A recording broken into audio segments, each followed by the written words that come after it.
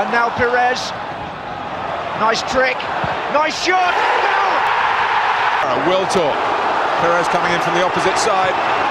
Robert Pires at last for Arsenal. And Pires. Well, that's a shock to Sullivan. Three games he started against Tottenham. Is it four out of four? It is. And Arsenal are level.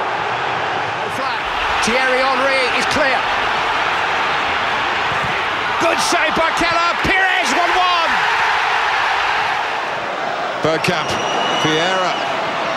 For Pires. Oh, what, two. what a goal. Look for him. We thought he was going to score. As we watch it here.